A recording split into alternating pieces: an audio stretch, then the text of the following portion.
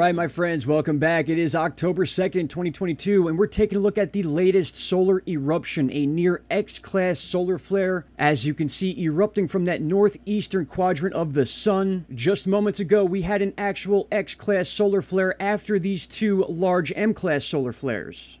But taking a look at these high def quality videos of that sun explosion are pretty incredible to see, especially when you get to see that massive amount of plasma being released as a result of this eruption. Not to mention these two sunspots are nearly 10 to 20 times the size of Earth. So you can just imagine the amount of plasma and solar wind that gets launched out of these things and why these things have such huge impacts on Earth. Here is a snapshot of those sunspots via the SDO satellite cameras and you can see another one here in the middle middle, kind of making its way towards Earth, facing a little bit higher than the equator. But then on the western edge of the sun, this one's going to be pretty interesting because it's already showing a lot of signs of wanting to erupt, and it's going to be about a day or two before those are actually starting to face us as well. So in the very near future, we could be seeing a lot of these solar flares being shot directly at Earth itself, which we've talked about here on this channel can do many different things, including disrupting internet, cell phone service. They've also been known to cause power outages and actually physical effects to certain people. I've had many subscribers in the comment section telling me that they can actually feel these things once that solar wind is hitting the magnetic field of Earth. And speaking of that magnetic field, this is also a very big reason that we do get large earthquakes during these solar storms. There have been studies done Stop for right years there, and friends. Years and years already, about the click that effect of the solar. Wind hitting that hit Earth's magnetic field and then causing crust displacement. We've seen some of the largest earthquakes ever taking place during large solar storms, or in another term, a geomagnetic storm, which is absolutely something we are going to be going through in the next day and a half. And even as these new sunspots make their way towards Earth facing, we could be dealing with even more. This chart you're looking at right here is called the Enlil spiral chart. This shows a CME leaving the sun, which is in the dead center, and how that CME expands out across the other planets. Now, if you look closely, there is a yellow dot there between that blue and red square. That is Earth. So you could see that this CME is going to clip Earth. It's not a dead on shot because, as we showed earlier, that CME launched off the upper western quadrant of the sun. So that's going to put it at a different angle, not hitting Earth directly, but plenty enough to cause a solar storm, which in turn could have all those effects that we were just talking about. Now, this chart is very important. You are looking at the GOES X-ray flux chart, and you could see to the far right, we actually just had an X-class solar flare. And then you could see before that, we had those strong M-class solar flares. So in theory, because all this energy has been launched in part towards Earth, these things can actually double up and combine with each other, making these geomagnetic storms or solar storms a lot stronger than if there was just one CME release. All right, and this video just came in. The data is not even fully processed on all the charts yet, but you could see this X-class solar flare leaving that same exact grouping of sunspots we just saw the previous two M-class flares. So this is a very active set of sunspots right here. And now I've gone ahead and looped this over and over again because I want you to notice that when these large explosions happen, they almost form that shape of an X. That is why they are called X flares. You can sometimes see that shape in smaller CME releases, but when you get that prominent X shape, you know you are dealing with a very strong and powerful CME release. So that, my friends, is going to make things a lot more interesting. These two large M-class solar flares, now topped off with an actual X-class solar flare, is absolutely going to bring some sort of solar storm to the Earth in about the next day and a half, two days. Those M-class solar flares will hit first, and then that, and then the energy from that X-class flare we just saw is going to be right behind it. So don't be surprised if we start seeing a large amount of bigger earthquakes between now and the next three days. That is a very important point. All right, my friends, that's what I got for you for now. I want to thank you all for taking the time to watch this video. Shout out to Canada. Questions or concerns, please leave down below, and I will see you all in the next video. Take care. Bye-bye.